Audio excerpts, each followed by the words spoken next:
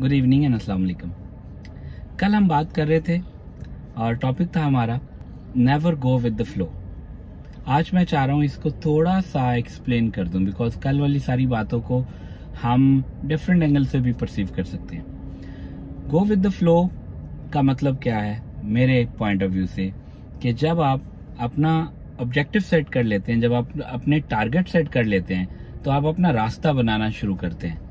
और जब आप अपने टारगेट सेट नहीं करते, अपने ऑब्जेक्टिव सेट नहीं करते, अपनी लाइफ को प्लान नहीं करते तो फिर ज़्यादा चांसेस होते हैं कि you fall into someone else plan और फिर someone else is basically guiding you how to live your life आप जब लीडर होते हैं तो तब आप डेफिनेटली यही कर रहे होते हैं। जब आप फॉलोअर होते हैं तो फिर आप गो विद द फ्लो वाले ऑप्शन पे ज़्यादा जा रहे होते हैं। सेकेंडली याद रखें, अगर आप अपने आप को हवा के रुख पे छोड़ दें तो हवा आपको क्या वहाँ लेके जाएगी जहाँ आप जाना चाहते हैं?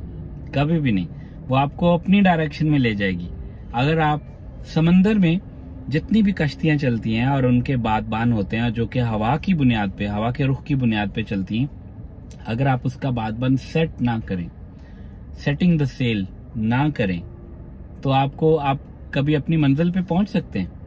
कभी भी नहीं। अगर सारे हवाई जहाज़ हवा के रुख की बुनियाद पे चलें तो जिसने अमेरिका जाना है, वो शायद इंडिया चला जाए।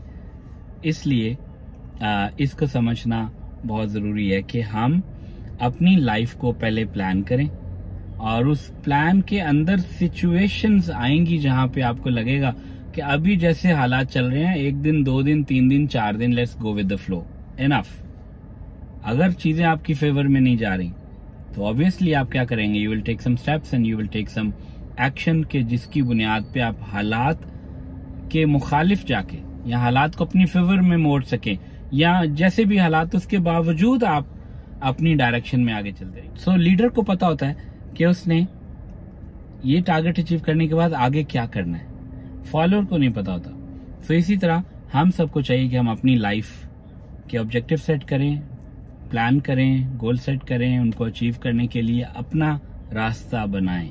तभी हम डिफ्रेंशिएट कर सकेंगे तभी हम स्टैंड आउट कर सकेंगे तभी हम कुछ नया कुछ डिफरेंट कुछ बेहतरी कुछ इन्वेंशन कोई और कोई इनोवेशन ला, ला सकते हैं अपने काम में और अपनी सोसाइटी में दूसरे लोगों के लिए कुछ अच्छा करके जा सकते